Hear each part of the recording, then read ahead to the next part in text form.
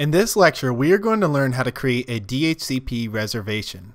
We are going to create a reservation for our Windows 10 workstation with an IP address of 192.168.0.113. In order to create the DHCP reservation, we will need to have our domain controller and Windows 10 VMs powered on. The first step is to grab the MAC address from our Windows 10 workstation, and then we will be ready to create the reservation on our DHCP server, which is ITFDC01. Next, we'll configure the Windows 10 VM to use DHCP for a second networking adapter and see if it grabs the IP address we reserved for it. Start by logging on to your Windows 10 VM. Open Command Prompt by clicking the Windows button and searching for CMD. Start Command Prompt by selecting it in the list. We can grab the MAC address of our VM by typing the get MAC command or getmac command. Notice that there are two MAC addresses presented. This is because we are using two network adapters. We can figure out which MAC address belongs to which networking adapter by looking at the advanced settings of our VM network configuration. On the VM window, click Machine and Settings. Click the Network tab and select Adapter 2. Expand the Advanced drop-down list and look for the MAC address. Now we can see that the MAC address listed here matches that of the second MAC address listed in Command Prompt.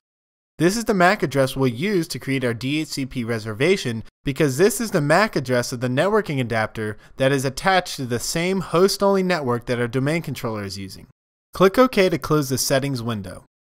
Switch over to our DHCP server, which is ITF-DC01, and open the DHCP Management Console by opening Server Manager and selecting Tools, DHCP. Expand our server and expand the IP version 4 and our scope. And right click on the Reservations tab and choose New Reservation. For the reservation name, I'm going to enter the computer name ITFWS001. Now I'm going to enter in the IP address that I want this computer to receive, which will be 192.168.0.113. For the MAC address, I'm going to enter the MAC address that we got from the Windows 10 workstation by entering the get MAC command.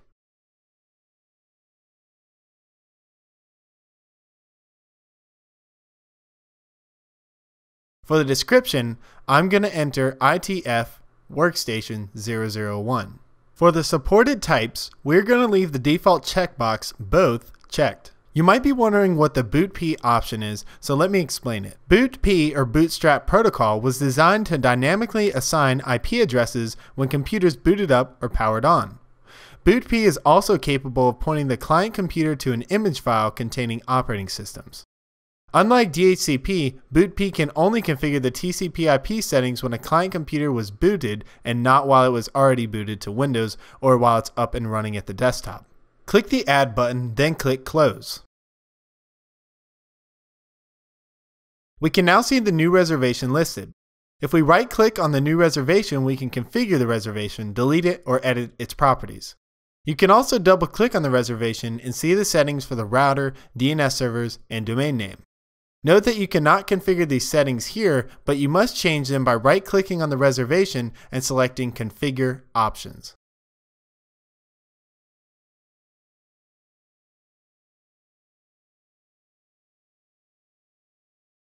Let's switch over to our Windows 10 VM and switch the IP configuration to DHCP and see if it grabs the new IP settings we reserved for it.